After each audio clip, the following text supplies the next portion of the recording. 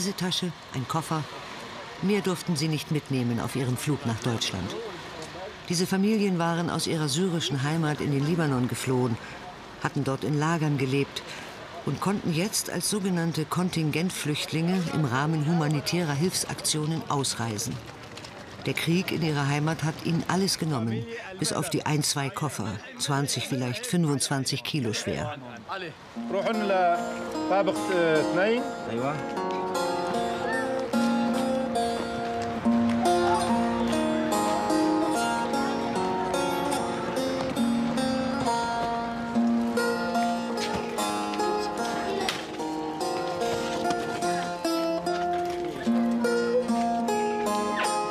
Familien heißt Reinhard Ühlin, Leiter der Gemeinschaftsunterkunft in der Landshuter Straße in Regensburg, willkommen. Jede Familie erhält ein Zimmer. Die Gemeinschaftsunterkunft ist kein neues Zuhause, sie bietet Schlafplätze. Die Kontingentflüchtlinge sollen möglichst bald eigene Wohnungen finden. Aber wie soll das gehen in diesem fremden Deutschland? Bei einigen Ankömmlingen liegen die Nerven blank. Ibrahim Yigit vom Zentralrat Orientalischer Christen in Deutschland hat schon viele syrische Flüchtlinge in ihre erste Unterkunft begleitet. Die Menschen kommen mit höheren Erwartungen. Was sie hier auch begegnen oder empfangen, ist anders.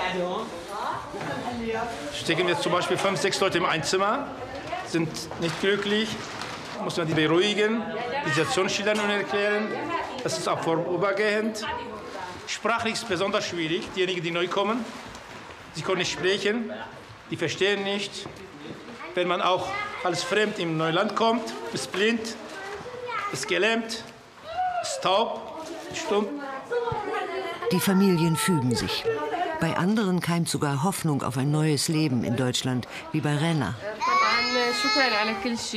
Ich bedanke mich ganz herzlich, dass unsere Familie hierher kommen durfte. Und wie mein Mann meine ich, dass wir ein Teil von Deutschland werden und hier arbeiten wollen. Für die Familie von Renner beginnt der Gang durch die Behörden.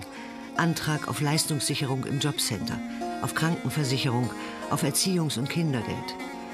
Sohn Abdelrahman wird bald die Schule besuchen und Ahmed die Kinderkrippe. Als Kontingentflüchtlinge dürfen Renner und ihr Mann an einem Integrationskurs teilnehmen, um Deutsch zu lernen.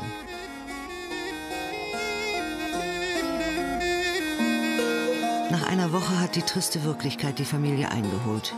Nichts geht voran und der Alltag in der Gemeinschaftsunterkunft gestaltet sich schwierig. There's lots of family and only this number of uh, gases to prepare anything here. We're organized and we uh, have a very good. Fünf Familien, die sich nie zuvor gesehen haben, die nur das Schicksal verbindet, vor dem Krieg geflohen zu sein, müssen sich nun eine Küche teilen. And this is the bathroom here. Getting. Oh my God! There's a, there's a little baby. Die sanitären Einrichtungen reichen für 25 Menschen nicht aus. As you see, there's only two douches, uh, douches and uh, four, five families. It's not enough at all. And for women and men also. Yeah. Die beiden Duschen müssen Männer, Frauen und Kinder gleichermaßen benutzen. Und es gibt nur zwei funktionierende Toiletten für alle. Und die Zimmer der Familien sind nicht abzusperren. Diese Kinder sahen, wie Menschen starben und wie Bomben ihr Zuhause zerstörten. Sie wissen, wie sich Hunger anfühlt und die Angst vor dem Krieg. Und jetzt erleben sie, wie Ungewissheit und Stillstand ihre Eltern zermürben. Ahmad hat zwei Söhne. Ich wünsche mir in Deutschland Sicherheit und Geborgenheit für meine Familie und für mich. Ich wünsche mir eine Wohnung für uns, deren Tür wir hinter uns abschließen können. Ich wünsche mir, dass die Kinder die Schule besuchen dürfen und dass ich die deutsche Sprache lernen darf. Ich gehe immer wieder zum Einkaufen und kann dabei leider nur Englisch sprechen. Ich möchte mich in Deutschland integrieren, Teil der deutschen Gesellschaft werden. Und ich will hier nicht untätig herumsitzen, sondern arbeiten und die Zukunft aufbauen.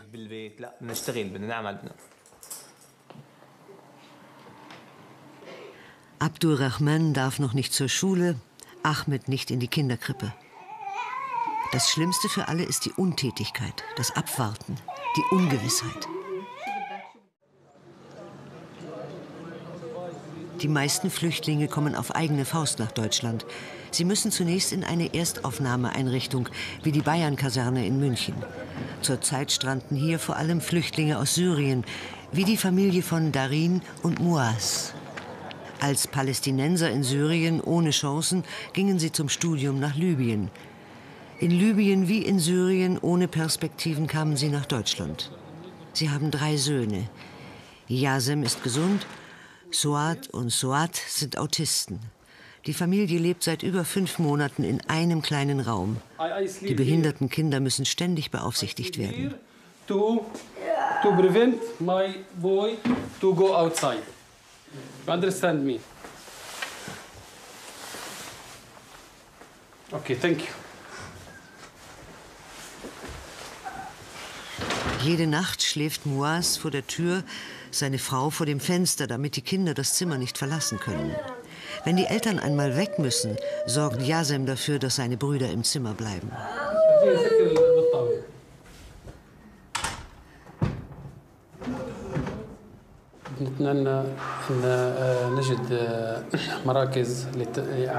Wir wünschen uns so sehr, dass die zuständigen Behörden endlich unsere behinderten Kinder in einer Einrichtung unterbringen, wo sie gefördert werden können.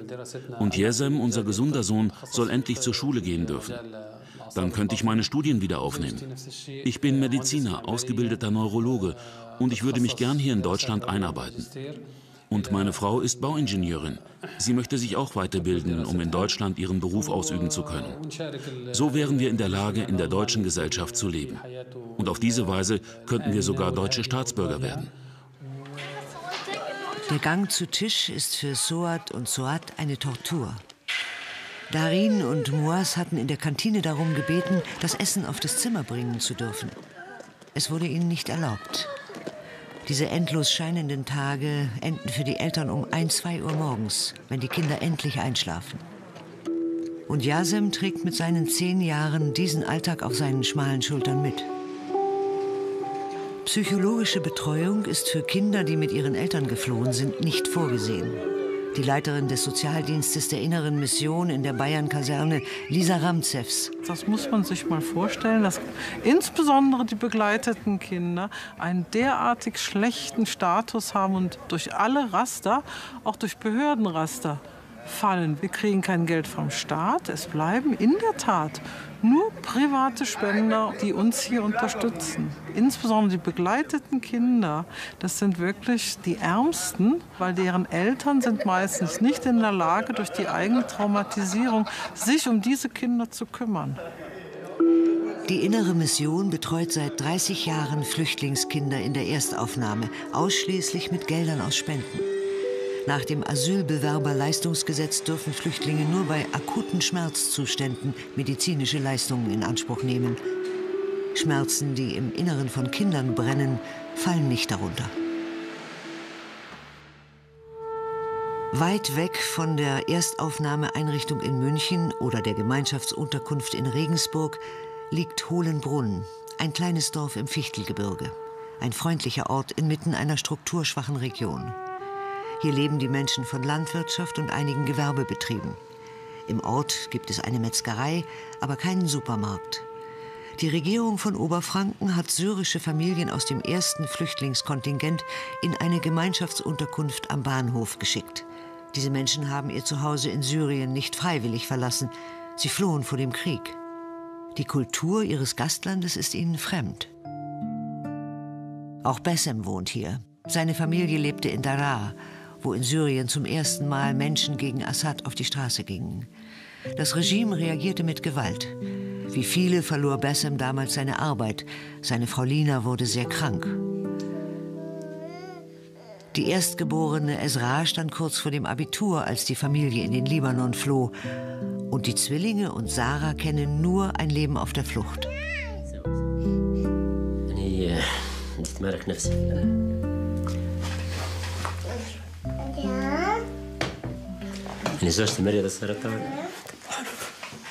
Als ich in den Libanon ging, um dort zu arbeiten, wurde bei meiner Frau Krebs diagnostiziert. Ich hatte ein Jahr lang keine Möglichkeit, meiner Frau auch nur irgendein Medikament zu besorgen. Also habe ich mich an eine Hilfsorganisation gewandt und die hat mich dann mit Arzneimitteln für meine Frau unterstützt. Ich habe mich so hilflos gefühlt. Man hat mir schließlich den Rat gegeben, mich beim Flüchtlingshilfswerk der Vereinten Nationen zu melden. Dort bekäme meine Familie vielleicht die Chance, aus humanitären Gründen nach Europa geholt zu werden. Dafür musste ich mich bei der UN als Flüchtling registrieren lassen. Aber dort hat man mir gesagt, dass man bei so einer schweren Krebserkrankung nicht helfen kann. Meiner Frau ging es inzwischen immer schlechter. Obwohl es sehr gefährlich war, bin ich mit ihr nach Syrien zurückgegangen, um Medizin zu besorgen. Dafür mussten wir die Kinder in Beirut zurücklassen.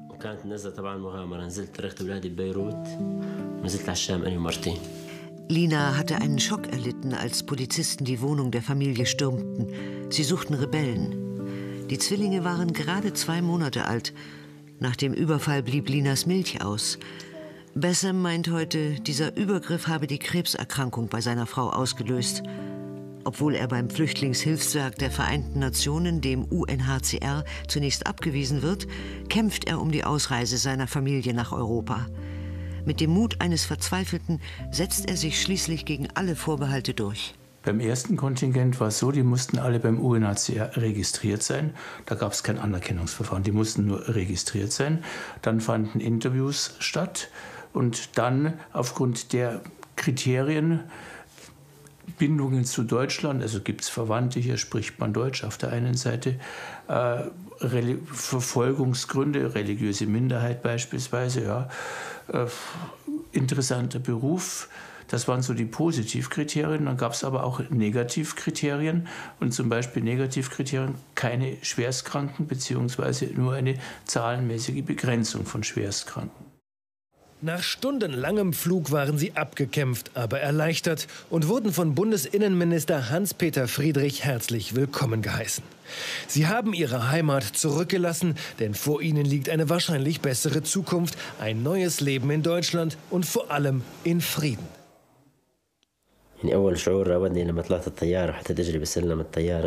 Das war ein so unbeschreibliches Gefühl im Flugzeug. Das ist schwer in Worte zu fassen. Ich habe gedacht, meine Familie wird in eine gewisse und gute Zukunft fliegen. Das Wichtigste war ja, dass meine Frau endlich medizinisch versorgt wird. Dann habe ich gedacht, dass die Zukunft der Kinder gesichert ist und schließlich, dass ich bald arbeiten darf und dass wir als eine glückliche Familie leben dürfen. Je länger ich im Flugzeug gesessen bin, desto mehr haben sich meine Gedanken von Zweifeln und von Traurigkeit entfernt. Die Zukunft erschien mir in strahlendem Licht.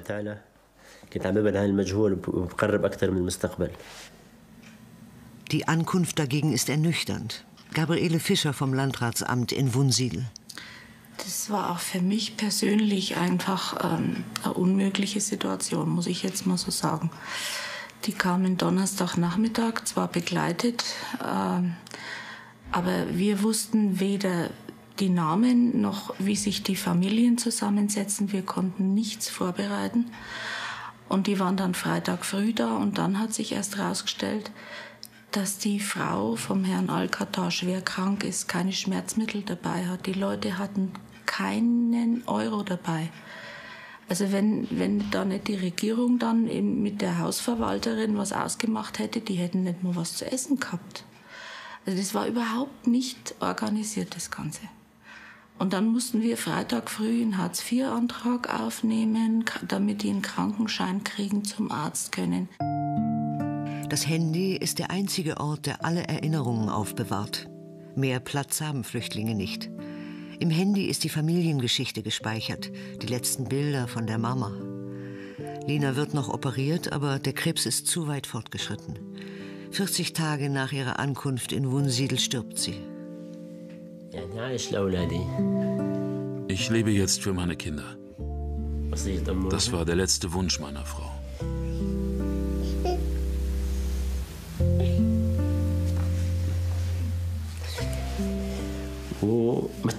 Ich danke Deutschland und bete zu Gott, dass ich hier ein neues Zuhause finde.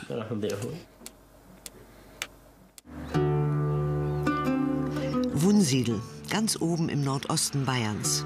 Die Stadt hat über 9000 Einwohner, erfolgreiche mittelständische Betriebe. Ihre Bürger haben Neonazi-Aufmärschen getrotzt und Wunsiedel bunt gemacht. Und seit ein paar Monaten beherbergt die Stadt Familien aus Syrien. In der Friedensstraße sind Familien untergebracht, die die Flucht auf eigene Faust wagten und nun in Deutschland um Asyl bitten. Hier lebt Aleh. Wir hatten alle unglaubliche Angst während der Flucht. Aber trotzdem kann man die Gefahren auf der Flucht nicht mit der Situation in Syrien vergleichen. Ja, ich habe mein Leben und das Leben meiner Familie riskiert, um nach Europa zu kommen. Denn in Syrien hatten wir Hunger. Um uns herum wurde ständig gemordet. Es herrschte Krieg. Man hat nur Blut und Waffen gerochen. Meine Kinder wachten nachts weinend auf, weil sie Raketenfeuer hörten. Sie hatten ständig so große Angst. Und deshalb habe ich das Leben meiner Familie riskiert.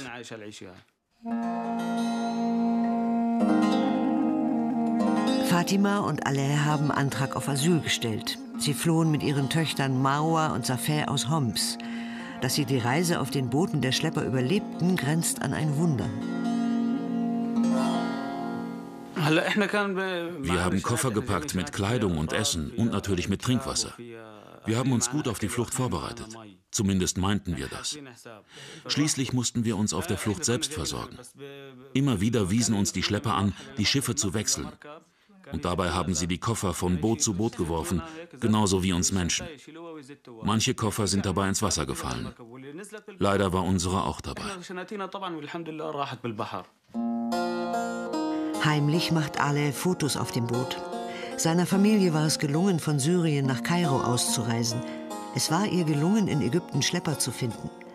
Fast ihr ganzes Geld mussten sie ihnen geben für die Passage über das Meer. Und dennoch wären sie, wie so viele andere Flüchtlinge, beinahe ertrunken. Wir hatten jetzt überhaupt nichts mehr zu essen und zu trinken. Wir sind gefahren und gefahren, aber nirgends angekommen, weil der Kapitän sich nicht orientieren konnte. Die Kinder hatten so furchtbaren Hunger. Dann haben wir ein paar Zuckertütchen gefunden, haben Wasser aus dem Meer geschöpft, Zucker hineingeworfen und den Kindern das gesüßte Wasser gegeben. Allmählich wurde das Boot seeuntüchtig. Und jetzt endlich hat der Kapitän zugegeben, dass das GPS defekt war. Er meinte, dass wir sowieso nie ankommen werden. Wir waren jetzt auf Gott allein gestellt. Wir haben die ganze Zeit Wasser aus dem Boot geschöpft. Wir hatten überhaupt keine Kleidung mehr außer der, die wir anhatten. Diese Kleider haben wir ausgezogen, in Diesel getaucht, angezündet und als Fackeln hin und her geschwenkt, damit uns jemand entdeckt. Irgendwann hat uns dann ein Schiff gesehen. Darauf war ein marokkanischer Seemann. Einer von uns Flüchtlingen hat ihn auf Englisch angesprochen. Doch der Marokkaner hat gesagt, ich bin auch Araber wie ihr. Wie kann ich euch helfen? Ich habe gesagt, dass wir Flüchtlinge aus Syrien sind. Er hat dann die Polizei verständigt und mit seinem Schiff unser Boot so lange umkreist, bis die italienische Polizei gekommen ist. Der Marokkaner hat uns gefragt, ob er noch etwas für uns tun kann. Wir haben ihn um Wasser für die Kinder gebeten. Lampedusa in Italien, die Insel ist Anziehungspunkt für Flüchtlinge aus Nordafrika. Doch viele reisen weiter, halten etwa Deutschland für attraktiver. Die Bundesregierung sieht aber Länder wie Italien in der Pflicht, sich besser um die angereisten Flüchtlinge zu kümmern. Dann sind zwei Polizeiboote gekommen und die haben uns nach Italien gebracht. In Italien wurden wir sehr schlecht behandelt. Bei unserer Ankunft hat uns die Polizei eingekreist und zu einer abgesperrten Unterkunft geführt. Wir hatten nichts zu essen und zu trinken, bekamen auch nichts in dieser Unterkunft. Dann haben sie uns in eine andere Unterkunft gebracht. Dort haben sie uns aufgefordert, unsere Fingerabdrücke abzugeben. Ich habe mich für die Rettung bedankt, dann aber gesagt, dass wir nicht in Italien bleiben wollen und deshalb auch keine Fingerabdrücke abgeben möchten. Da wurden die italienischen Polizisten richtig wütend. Sie fingen an, uns zu schlagen. Stellen Sie sich das vor. Und dann haben sie uns angebrüllt. Wir haben gedacht, wir sind wieder in Syrien. Wer als normaler Asylbewerber herkommt, sich also mit anderen Worten selber durchschlägt, der unterliegt dem Asylbewerberleistungsgesetz, der muss in eine Erstaufnahmeeinrichtung, der muss später in ein Lager oder wird dezentral irgendwohin verteilt. Das Verfahren dauert Minimum drei Monate, maximal ein Jahr und länger. Äh, das Bundesamt bemüht sich zwar, die Syrer schneller zu bearbeiten als andere Gruppen, aber aus mir nicht nachvollziehbaren Gründen klappt es oft nicht. Also manche hängen da ewig in der Warteschleife. Auch in Wunsiedel leben Asylbewerber, die nicht wissen, wie und wann ihr Asylantrag beschieden wird. Sie dürfen erst nach neun Monaten arbeiten. Lediglich Ein-Euro-Jobs sind ihnen erlaubt. Doch wie können sie den Alltag hier bewältigen, wenn sie sich nicht verständigen können? Gegen alle offiziellen Handhabungen hat Karl Rost, selbst pensionierter Lehrer, für die Asylbewerber einen Deutschkursus organisiert. Auch Ale und Fatima nehmen das Angebot wahr. Für sie ist der Kurs ein Stück Hoffnung auf eine Zukunft in Deutschland. Guten Tag. Wie heißen Sie? Ich heiße Alla. Alla. Also, freut mich. Guten Tag. Guten Tag. Wie heißen Sie? Ich heiße Fatima. Fatima. Freut mich. Diese Teilnehmer zahlen die Kursgebühren selber aus ihrem Taschengeld. Und die Bereitschaft, circa vielleicht 100 oder 120 Euro hier auszugeben für einen Sprachkurs, die war da und daran sehen wir, wie ernst die das nehmen. Wenn die selber was zahlen können, ich finde, es gehört auch zu der, zu der Würde dieser Menschen. Die wollen nicht alles geschenkt haben, auch wenn manche Stammtische das ihnen unterstellen.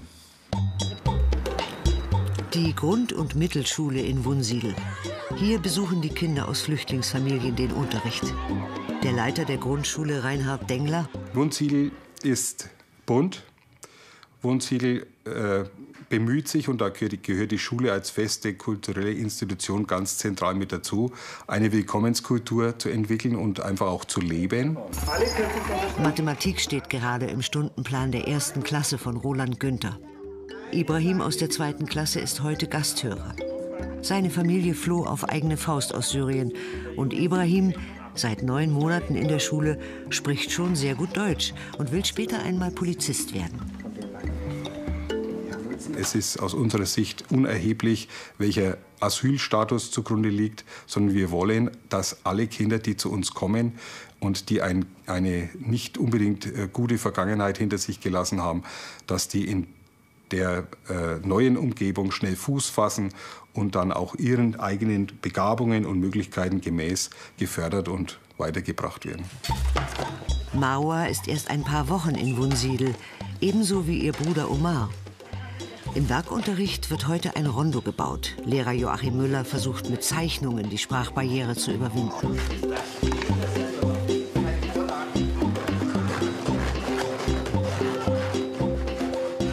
Das heißt, reden mit Händen und Füßen, einige Brocken Englisch. Und das geht dann schon einigermaßen. Aber es ist viel Arbeit. Ich habe praktisch zwei Klassen innerhalb eines Klassenverbundes. Auch Mahmoud ist erst seit kurzem hier und er erzählt, dass er ungefähr drei Worte von allem hier versteht. Für ihn ist klar, welchen Beruf er später ergreifen will. Arzt, was sonst? Die Mädchen haben Marwa in ihrer Mitte aufgenommen. Und sie spielt auch in der Pause mit uns Fangen. Da fängt sie dann gleich an, ähm, so zu drauf tippen ja, und dann rennt sie weg. Und, weg, und dann wissen wir auch gleich, damit sie fangen spielen will. Kinder haben da ganz anderes Vermögen als Erwachsene. Also Kinder haben keine Vorurteile, Kinder nehmen andere Kinder viel eher auf, als das vielleicht Erwachsene tun. Und so machen Mahmoud und Omar mit ihren coolen Wunsiedler-Mitschülern auch schon jede Menge Quatsch. Auch Motamo vermittelt syrischen Flüchtlingen in Wunsiedel Zuversicht. Er begleitet Esra und Mohammed zum Jugendmigrationsdienst der Caritas, übersetzt wichtige Informationen ins Arabische. Bassem unterstützt er bei Behördengängen. Mo hilft, weil er die Situation kennt, die ein Flüchtling bei seiner Ankunft im Gastland durchlebt.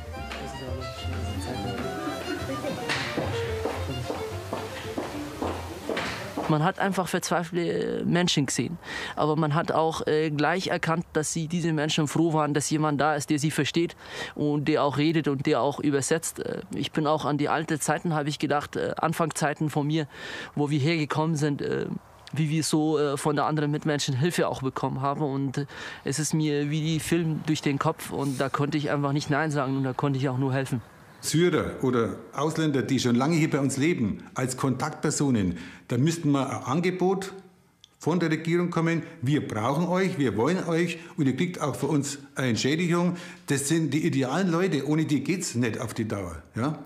Um die Sprachbarriere hier mal am Anfang zu überwinden. Mancher würde gern helfen, aber er fürchtet die Sprachbarriere. Es kann nicht jeder Englisch, Farsi und Urdu das ganze Zeug, sondern wenn wir jetzt hier diesen Leuten möglichst schnell einen Sprachkurs anbieten, dann ist die Sprachbarriere schon mal niedriger. Dann kann man sagen, Leute, die können mit euch einigermaßen schon ein wenig Deutsch reden, dann finden wir vielleicht mehr Leute, die sagen, jawohl, da, müsst, da geht ja was. Und da muss ich sagen, da wäre mit wenigem Einsatz oft viel zu machen. Also es gehört nicht viel dazu, einmal in der Woche mit seiner Familie zum Einkaufen zu fahren und die in die Getränke heimzufahren. Oder? Hohenbrunn hat einen Sportverein und die rührigen Vereinsmitglieder kümmern sich mit Hingabe um die jungen Neubürger. Heute sind zum ersten Mal syrische Kinder und Jugendliche eingeladen. Mo, der in seiner freien Zeit für seine syrischen Landsleute übersetzt, hat Fußballschuhe organisiert und Vereinsvorstand Ernst Buberl begrüßt die Spieler. Ihr wisst ja, das sind wieder neue Leute. Wir haben ja hier in Hohenbronn nicht nur ein paar deutsche Spieler, wir haben Übersiedler, wir haben türkische, wir haben Vietnamesen. Und jetzt haben wir Syrer da, halb Italiener, also wir sind fast international. Und ich hoffe, dass die Syrer auch so gut aufgenommen werden bei euch. Fußball bietet eine ganz wunderbare Möglichkeit, aus fremden Jungs Freunde zu machen. Auch bei Mo fing es so an. Als er mit 13 Jahren nach Deutschland kam, hatte er über Monate gespart, um sich für damals 60 Mark ein deutsch-arabisches Wörterbuch zu kaufen. Und er? Doch die Verständigung mit den deutschen Jungs glückte ihm über das Fußballspielen. Sieben? Ja. Man konnte sich irgendwie mit, mit Mimik und Gestik irgendwie verständigen und mit den Händen und Füßen irgendwie. Es hat auf jeden Fall funktioniert. Äh, am Anfang äh, habe ich viele Schaulustige gehabt, aber danach äh, hat sich wirklich voll im Positiven, nach dass wir ein paar Kontakte Fußball gespielt haben, habe ich auf einmal ganze Mannschaft als Freunde gehabt. Mo, Ausnahmetalent am Ball, in Syrien im nationalen Fußballkader U14, ist Kurde. Wegen der ständigen Repressalien gegen Kurden entschlossen sich seine Eltern, Syrien zu verlassen. Safeh geht in den Kindergarten, Marwa ist noch zu klein dafür. Ihren Eltern gelang es, beide Mädchen vor Hunger, Tod und Krieg in Sicherheit zu bringen. Doch der Preis dafür war hoch. Safeh hat alle Zähne verloren, sie trägt jetzt Implantate. Hunger hatte den Kindern schon in Syrien zugesetzt. Der Wassermangel auf dem Flüchtlingsboot kostete sie beinahe das Leben. Unsere Flucht hat uns sehr mitgenommen. Wir denken immer noch daran, was wir alles durchgemacht haben. Es war anstrengend und einfach furchtbar. Wir hatten sehr viel Angst. Und als wir hier ankamen, hatten wir Angst, dass unsere Bitte um Asyl nicht anerkannt wird. Wir hatten einfach Angst vor allem. Die ersten vier bis fünf Tage hier fühlten wir uns immer noch im Ungewissen. Wir sind nachts aufgewacht und haben nachgedacht, wie es weitergehen wird. Aber wo waren wir und wo sind wir jetzt? Wir lebten in der Hölle. Und jetzt ist alles anders. Ich kann jetzt nachts alleine rausgehen, kann sogar meine Frau alleine zu Hause lassen, ohne Angst. Und ich habe jetzt vor nichts mehr Angst. Die Spielscheune in Hohlenbrunn steht für alle Kinder der Gemeinde offen. Ernst Buberl hat die syrischen Kinder aus der Gemeinschaftsunterkunft gerade mit seinem Auto hergebracht. Als sie mit ihren Eltern vor ein paar Wochen ankamen, war niemand aus Hohlenbrunn über den Zuzug der Flüchtlinge informiert worden. Man hat äh, weder was in der Presse noch sonst äh, gehört. Und die sind dann spazieren gegangen in Hohenbrunn oder ins Einkaufen. Hohenbrunn ist ein kleines Dorf. Sind sofort aufgefallen, neue Leute, fremde Leute. Und hat keiner gewusst, was mit den Leuten, wer die sind. Und ich war auch einer, der seine Heimat verloren hat. Wir sind vertrieben worden. Ich bin in Marienbad geboren und das hat eigentlich mich mitgeprägt, dass es Leute auch gibt, die was anderen helfen. Und das will ich auch haben, dass auch die, was da zu uns kommen, egal was für Nation das ist, auch gut aufgenommen wird. Und da möchte ich dazu beitragen, diese Sache. Und ich hoffe, das klappt. Wunsiedel hat in den vergangenen Jahren stetig Einwohner verloren. Gebäude stehen leer. Im ehemaligen Landratsamt sind alleinstehende Asylbewerber untergebracht. Die Stadt wirbt um Neubürger. Wie und warum sie nach Wunsiedel kommen, spielt dabei keine Rolle. Mohammed, Sarah und Esra auf dem Weg zum Discounter. Die Verkehrsanbindung der Gemeinschaftsunterkunft ist schlecht. Die Familie will sich eine Wohnung suchen, die zentral liegt. Aber die Ungewissheit über die Zukunft lähmt. Ich habe Angst davor, nach Syrien zurück zu müssen. Ich habe gehört, dass wir vorerst zwei Jahre Aufenthalt bekommen. Und wenn sich die Verhältnisse in Syrien nicht ändern, dürfen wir noch einmal drei Jahre bleiben. Danach sollen wir abgeschoben werden. Aber in den nächsten 20 bis 30 Jahren werden wir in Syrien niemals in Sicherheit leben können. Bassam und seine Kinder sind Kontingentflüchtlinge. Sie dürfen bald in Integrationskursen Deutsch lernen, überall hinfahren, Arbeit suchen. Sie haben Chancen auf eine Zukunft in Deutschland. Anders bei Ale und seiner Familie. Sie sind Asylbewerber, leben in einer Art Schwebezustand bis zur Klärung ihres Aufenthalts. Wir dürfen uns bis jetzt nicht frei bewegen. Wenn ich weiter wegfahren möchte, brauche ich eine Genehmigung. Ich möchte ein bisschen mehr Freiheit. Und das ist das Einzige, worum ich die deutschen Behörden bitte. Ich möchte hier bleiben. Und ich möchte, dass meine Verwandten aus Syrien hierher kommen dürfen. Es tut mir im Herzen weh, dass ich in einem sicheren Land leben darf, nicht aber meine Familie. Das ist schwer zu ertragen. Egal ob Asylbewerber oder Kontingentflüchtlinge, sie teilen dieselben Ängste um ihre Familien im Kriegsgebiet oder in den Lagern. Momentan dürfen Verwandte nur nachkommen, wenn sie im Kontingent der Vereinten Nationen ausreisen. Oder die hier lebenden Syrer erklären sich bereit, alle finanziellen Verpflichtungen für sie zu übernehmen. Das kann kaum eine Familie leisten. Dabei bietet das deutsche Recht Möglichkeiten für den Familiennachzug. Wir haben aber eine gesetzliche Regelung, Paragraph 36 Absatz 2 Aufenthaltsgesetz ist genau dafür bestimmt, wer, wenn ein außergewöhnlicher Härtefall vorliegt. Und wann ist ein außergewöhnlicher Härtefall da, wie wenn wir die Bomben um die Ohren fliegen, ja, als momentan in Syrien. Wenn also ein außergewöhnlicher Härtefall vorliegt, dann findet ein Familiennachzug auch von Geschwistern, auch von Eltern und von sonstigen Familienangehörigen statt. Davon wird kein Gebrauch gemacht. Wir sollten dieses Instrument, das der Gesetzgeber geschaffen hat, auch dafür nutzen, für die Familiennachzugsfälle und diese Familiennachzugsfälle nicht hineinzwängen in die humanitären Kontingente. Die sind für die Leute da, die krank sind, die alt sind, die in Not sind, ohne dass sie hier in Deutschland Verwandte haben. Esra ist 18 Jahre alt. Sie kann ihren Geschwistern die verstorbene Mutter nicht ersetzen. Ich brauche jetzt meine Mutter.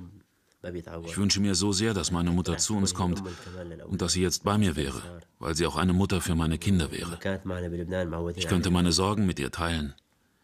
Im Libanon waren wir so an sie gewöhnt, vor allem meine kleinen Kinder. Sie hätte mit uns zusammen ausreisen dürfen. Jetzt hat sie ein schlechtes Gewissen, dass sie nicht mit uns nach Deutschland gekommen ist. Aber als wir den Libanon verlassen haben, wollte sie doch lieber in der Nähe ihrer Heimat bleiben.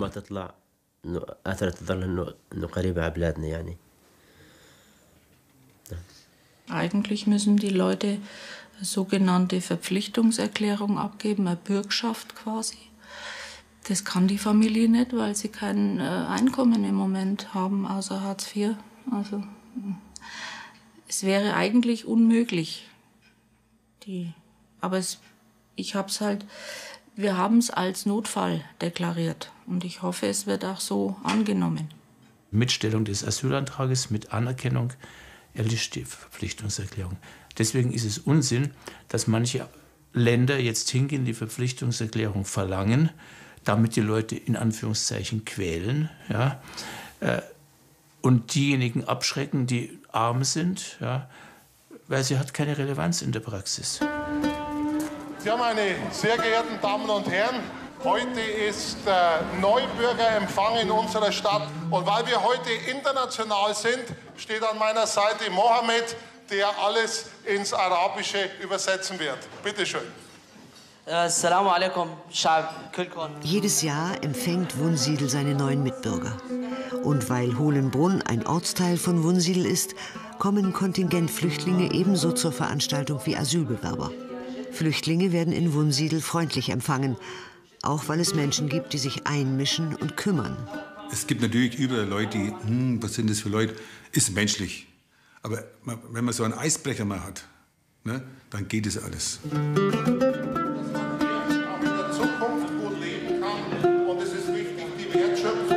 Die Flüchtlinge sind freundlich empfangen worden, weil in der Ausländerbehörde einfühlsame Menschen arbeiten.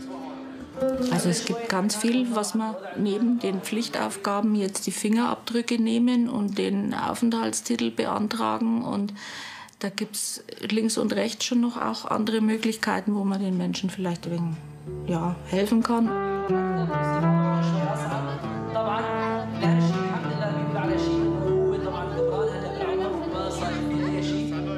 Dass Bayern die Asylpolitik etwas gelockert hat, hat eben auch damit zu tun, dass von unten positive Rückmeldungen kommen. Also insofern glaube ich nicht, dass nur der Effekt eintritt, die unten machen schon und wir oben brauchen nichts machen, sondern dass oben auch der Effekt ankommt, Mensch, da ist ja, das wird ja von der Bevölkerung angenommen.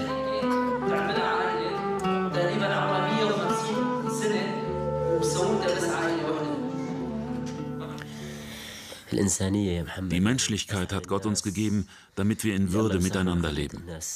Ich würde mich schämen, wenn wir Syrer je unsere Landsleute vergessen, die noch im Krieg leben müssen.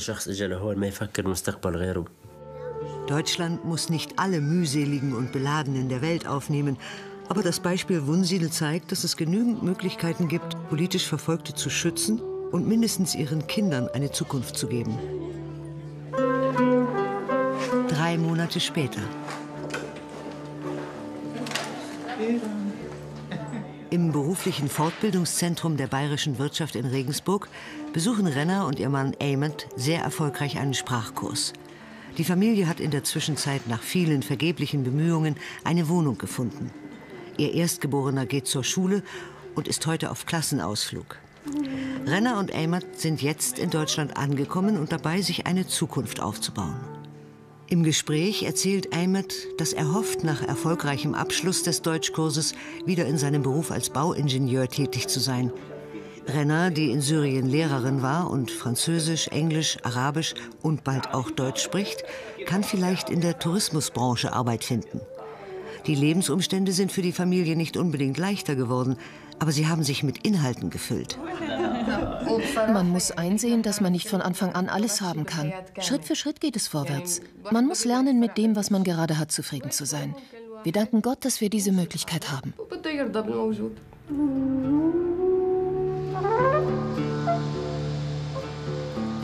Die Untätigkeit und ihre Hilflosigkeit in der Gemeinschaftsunterkunft haben Renner und Ahmed arg zugesetzt. Jetzt hat ihr Leben Strukturen bekommen. Und der kleine Ahmed wird später vielleicht einmal genauso gut Deutsch wie Arabisch sprechen und Regensburg als sein Zuhause ansehen.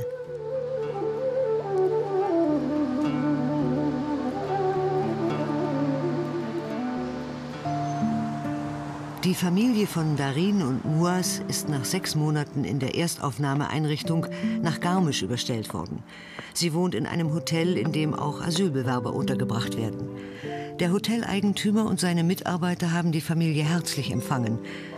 Sie kann jetzt die Tür ihres Apartments abschließen und mit den Kindern zusammen auf dem Zimmer essen. Allerdings werden die behinderten Söhne noch immer nicht in einer therapeutischen Einrichtung betreut.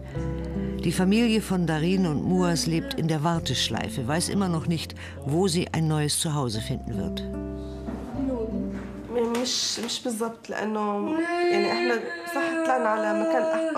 Die Wohnsituation ist natürlich besser geworden.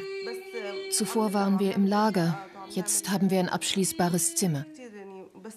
Was unsere Situation erschwert, ist, dass wir immer noch keinen Aufenthaltsstatus haben. Und wir wissen immer noch nicht, wie es weitergehen wird mit unserer Familie. Mein Mann und ich haben angefangen, Deutsch zu lernen. Wir müssen uns die Sprache aber selbstständig beibringen.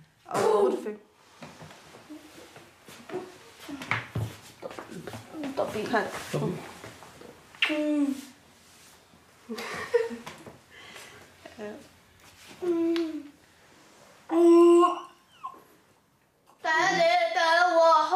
Viele Chancen für die Zukunft räumt die Asylgesetzgebung der Familie nicht ein, obgleich Moas als Arzt und Darin als Bauingenieurin Fachkräfte sind, die in Deutschland eigentlich gesucht werden.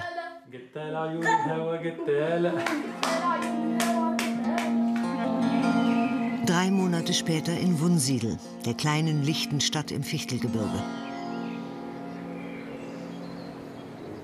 Zusammen mit seiner Familie und Mutamu, der in Wunsiedel weiterhin seine Landsleute als ehrenamtlicher Übersetzer unterstützt, besucht Bessim das Felsenlabyrinth auf der Luisenburg. Der Witwer weiß immer noch nicht, ob seine Mutter, die jetzt in einem Flüchtlingslager in Jordanien lebt, nach Wunsiedel kommen darf. Seine kleinen Töchter vermissen die Mama sehr und die Oma könnte die Trauer vielleicht ein wenig mildern. Trotzdem herrscht Zuversicht. Ein Sprachkurs ermöglicht der Familie Zugang in die deutsche Gesellschaft. Da gibt es Verbesserungen. Es geht wirklich voran. Wir haben einen Sprachkurs angefangen, der uns allen große Freude macht. Es ist so wichtig für uns, Deutsch zu lernen. Und immer wenn der Sprachkurs vorbei ist, besprechen wir zu Hause gemeinsam die neuen Wörter, die wir gelernt haben. Ich bin Isra, ich bin glücklich in Deutschland. Ich liebe deutsche Menschen und vielen Dank. Auf Wiedersehen. Der Greifvogelpark auf dem Katharinenberg ist ein weiteres Ausflugsziel in Wunsiedel. Alle ist mit seiner Familie zu Gast und Safel wird gleich in die Flugschau mit einbezogen. Und, hey. Wow, schau mal, wie viel hat sie denn gemacht? Fräulein, Ab den oben halten. Nee, ich bin weg, musst alleine halten. Aber nicht. Ich mache nicht. Guck jemand auf. Ich schicke ihn los. Die Adlerfeder, die Safel bekommt, soll nach indianischem Glauben Glück bringen. Das kann die Familie auch brauchen. Denn wie alle syrischen Familien, die um Asyl nachsuchen, weiß sie nicht, wie es weitergehen wird. Ale und Fatima sind noch keine neun Monate in Deutschland, dürfen also noch nicht arbeiten. Ihrem Alltag fehlt die Struktur. Feste Bezugspunkte sind allein der Kindergartenbesuch der beiden Töchter und der zweimal pro Woche stattfindende Sprachkurs, den sie selbst bezahlen. Das Warten zermürbt. Sie haben Probleme, Termine einzuhalten. Das Leben scheint ihnen zu entgleiten. Woran ich ständig denke, ist, dass mein Asylantrag anerkannt wird. Wenn ich Asyl erhalte, kann ich einen besseren Sprachkurs besuchen, ich kann arbeiten gehen und ein Leben führen wie ein normaler Mensch. Ich weiß nicht, warum mein Antrag nach sieben Monaten noch immer nicht beantwortet wurde.